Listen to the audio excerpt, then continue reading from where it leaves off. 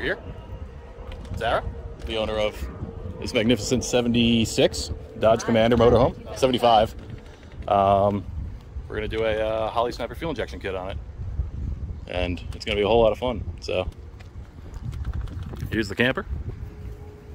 It is so big I can't even get it into the, there we go, the full frame. And my God, this is gonna be fun. You excited? Super excited. All right, let's get rolling.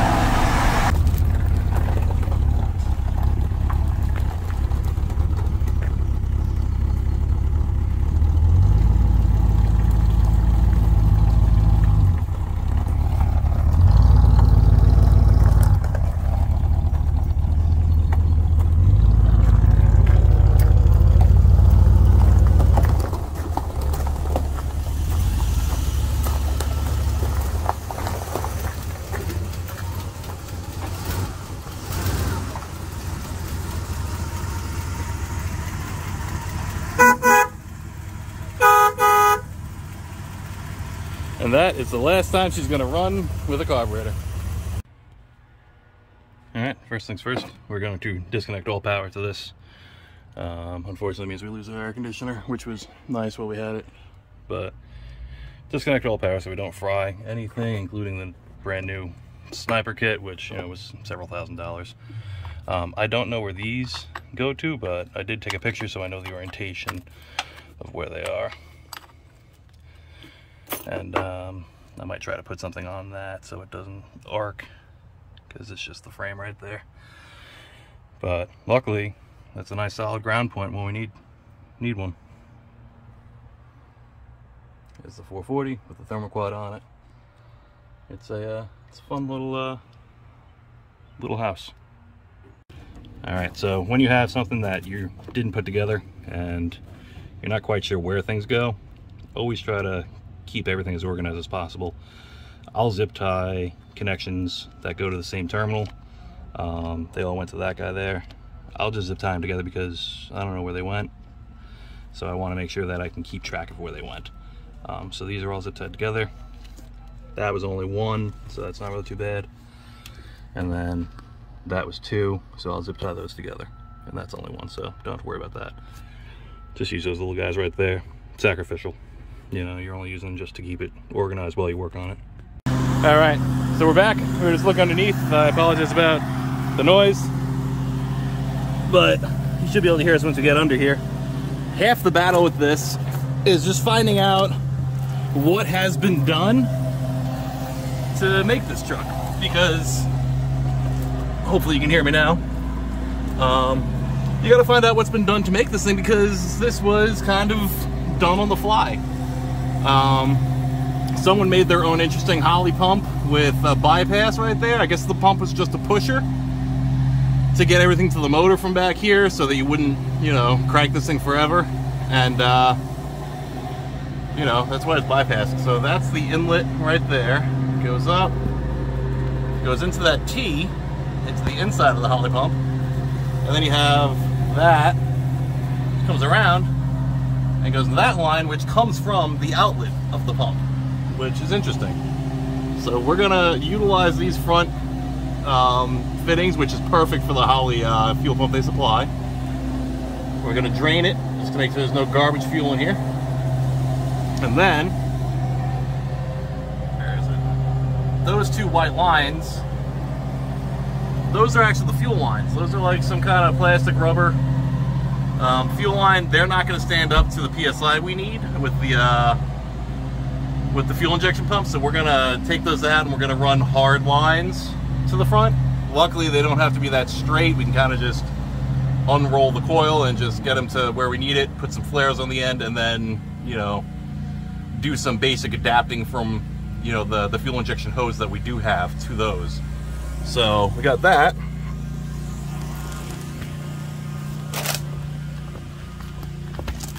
Then we come up here to the front tank.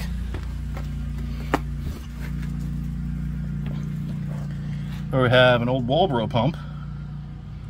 About the same stuff. And then I'm going to turn the flash on because I actually haven't seen on top of the tank. And I'm not quite sure. Hang on one second.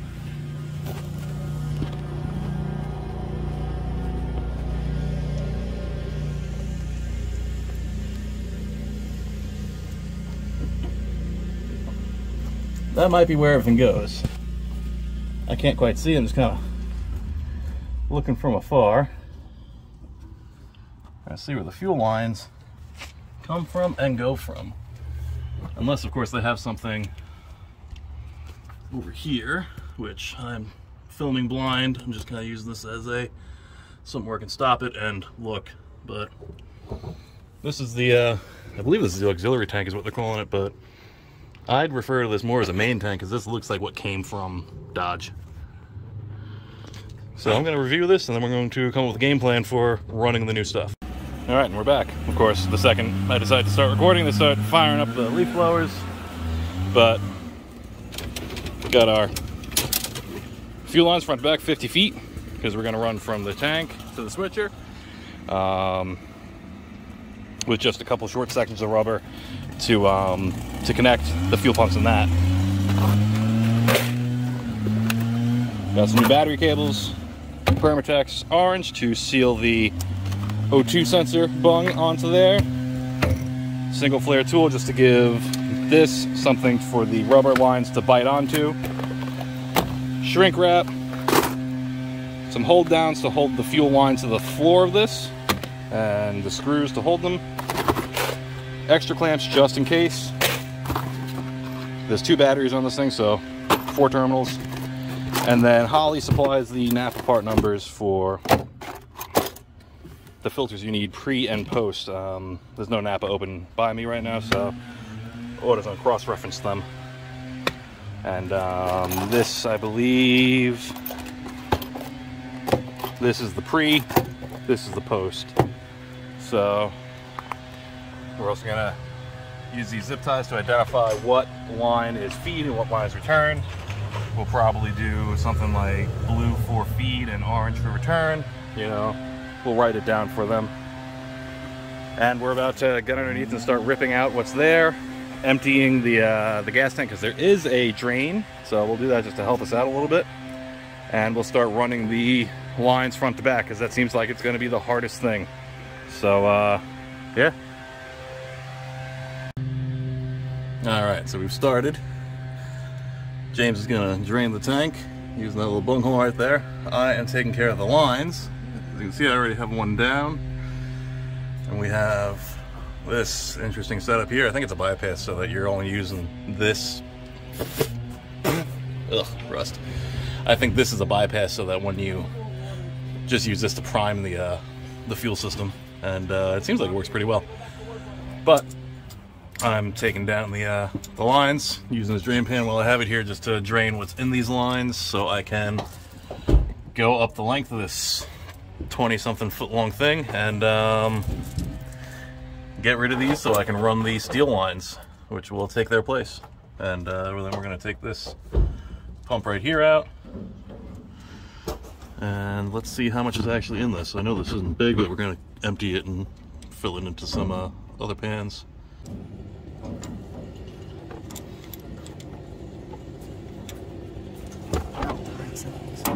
and yes we're sure this is not Wow, it's really annoying. Um, yes, we are sure that this is not black water, that this is gas. We're not going to have shit on us. How much do you think it's gonna come out? Oh, God. This thing holds 50? 40? this tank? Yeah. I think this is a 50 gallon tank. I kind of think the the other one is a 50 gallon tank. Oh, wow. Um, that's good looking. Uh, wonderful.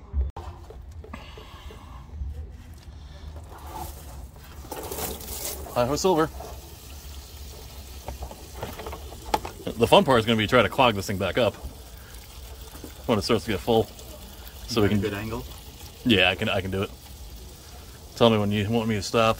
That's not the clearest stuff I've ever seen, but it's not the worst stuff. It Doesn't smell terrible. That's a little more.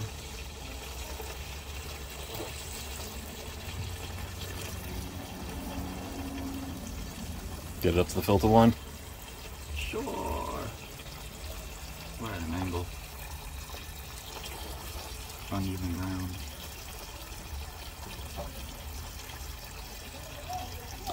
Call that. That should be good.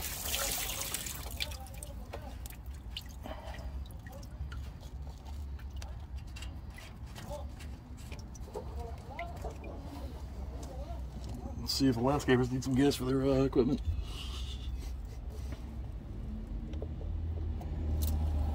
So I guess go get a uh, gas jug and a funnel. We're the ones out of the back of my truck. Yeah, so that's our disposal plan right now. I'll probably just run it in whatever cars I have randomly. A little bit of bad gas never hurt anyone. A lot of it hurts people. So, we'll be back. Alright, so we are still working under here. And uh, it's definitely making progress. We're 15 gallons emptied from the tank. We set up this little hose here to just drain from there, and we'll get the little bit left from here. Um, after that, we're going to remove this Holley pump. We have the two fuel lines disconnected, and we got them void of fuel, so we have to run and follow them up through there, and then take them down and run the the new steel lines up through there uh, because they will hold to the pressure much better. Um, so after a little more digging and looking, this right here runs to the generator that sits right above that muffler, um, and this one here runs to the the engine. Um, so that is why there's two outlets on this, and there's a return that goes into the filler neck over there. So we'll use that return.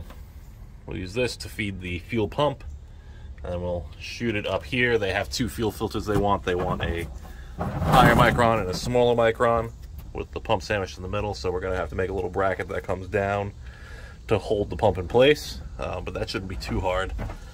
And then we'll feed everything through with fresh hose and fresh metal lines. So on to the 20th gallon.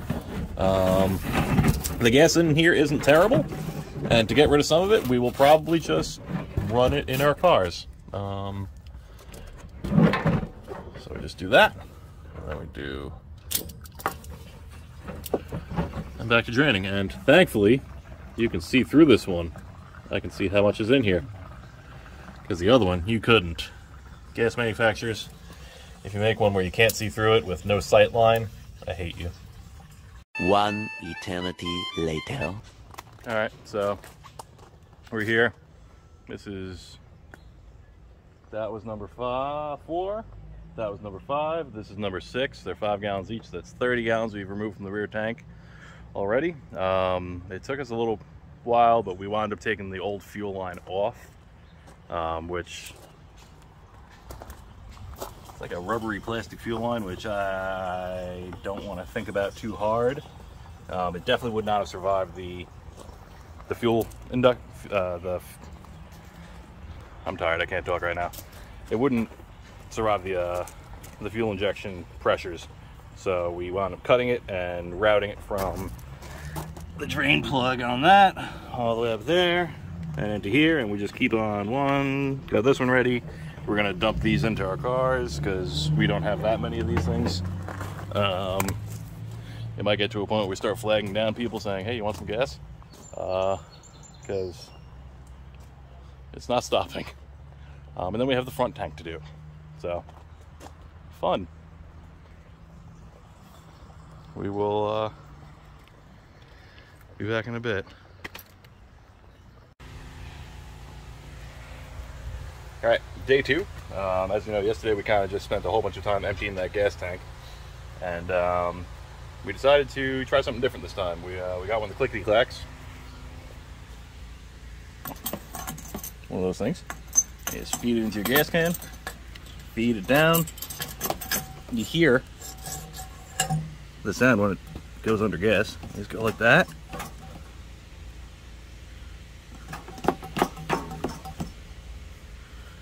And then voila, you're pumping gas. Just don't let that air bubble get back. Oh, which means this might actually be pretty empty already.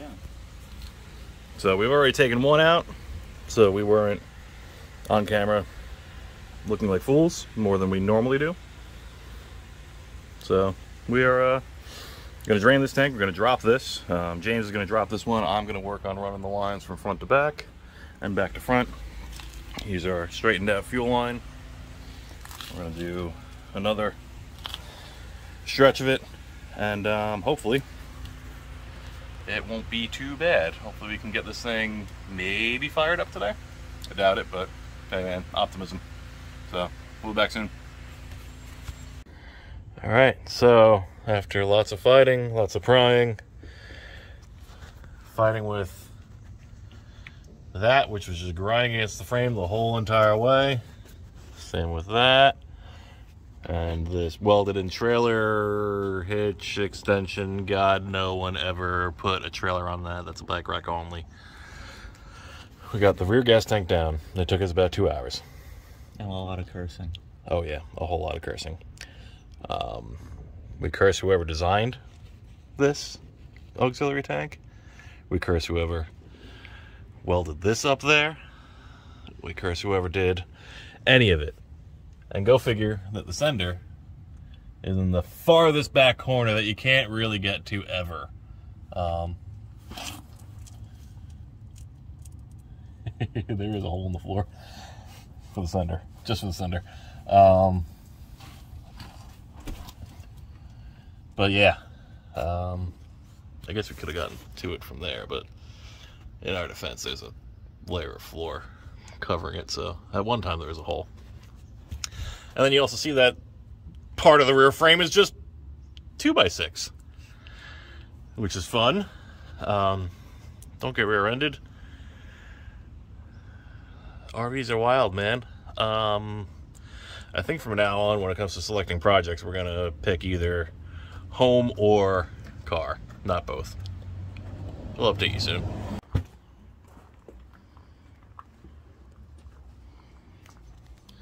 All right, so day two ended with uh, a more discoveries and trying to adapt to the situations that we have. Um, unfortunately, with old cars, old vehicles like this, I don't know if you can call this a car, old houses, um, you know how it is. You basically run into many different things where, you know, you have something that was touched by 15 different people. Um, you know, it's a lot of discovery trying to find out what they did, what their intentions were, and how you can adapt to work with what you plan with what they have. Unfortunately for our needs, this rear fuel tank is in pretty terrible shape. Um, it won't work because we'd have to have probably about four different inlets that they have closed up. Um, and the easier solution right now is going to be getting a, uh, a fuel tank from a easily serviceable vehicle. Um, this will help Sarah and Jay on the road if they ever have a breakdown. They can get a fuel pump, or not a fuel pump, but a fuel tank, a fuel sender, um, anything related to that from a vehicle. Um, based on the measurements we took and everything that we met, you know, looked online, looks like a 79, 78, 79 Bronco rear gas tank would be the best bet because it holds 33 gallons. Um, the fuel tank sender is right up front, so you can get to it. We can make a bracket to hold it, and bolt it into the frame, have it nice and secure, and it'll still be functionally the same. Um, it'll have a little less capacity, but we can actually work a working fuel gauge into it because you know that fuel sender we don't know anything about it. Um, trying to get to work with the factory gauge, we don't even know if the factory gauge works. Um, you know it's gonna be tough. So we can get a fuel sender, fuel tank, basically a whole kit from Jeff's Bronco Graveyard for about $400. Have it shipped here. We can install it. We can wire up an Auto Meter fuel gauge and have an independent fuel gauge for the rear. See if we can get the fuel gauge for the front tank to work. And at least that one's a factory tank to this. So if they do go to somewhere who works on this, they can say it's a 75 Dodge M400 chassis. That's the factory side saddle tank. Um, and you're able to to cross-reference parts. Um, we're gonna have, like I said, a, a, notebook, probably a binder. You know, write down everything we did, everything that's in there, what parts came from what, what color wire goes where. So it's going to be easy for someone who did not work on this to figure out what's going on. We're gonna take out all the old fuel lines that are in there. Um, so that people don't go looking and chasing dead ends like we've been doing. Um, there's about six different fuel lines that go to two different fuel tank switchers that are tied into each other and are collapsed and we don't know if they work. Um, so we're going to eliminate all that. We're going to go with the Holley switcher and we're just going to make it simple, one fuel system. And we're going to more work in the long in the short term, but easier in the long run for us, for the next person who has to work on it, and for Sarah and Jay to be able to go cross country. And if something does happen, it's going to be easy, accessible parts. Um, so we are uh, we're signing off for today. We're waiting for them to give us the thumbs up, thumbs down on whether or not they want to do that. Uh, because option number two is we run just the front tank for the sniper and we get them like a boat fuel tank for the generator and tuck it away into one of the, uh, the storage cubbies and say plug this in here when you're ready to use a generator. Put it on the uh, the deck on the back. And um, you know we'll see what they say. It's uh the Bronco tank I think is going to be the best best bet. Um, it's dimensionally the best one we can get. The fuel filler is in the right spot so we'll see. Um, and we'll probably back up this a little bit tomorrow to start taking the front tank down and to keep on going. Um, once we figure out the front tank stuff we're, and finish eliminating all the old fuel lines that are in there, we're going to uh, keep moving until they tell us what to do with the rear tank. So, see ya. We'll be on for the, uh, the next episode where we continue on with it.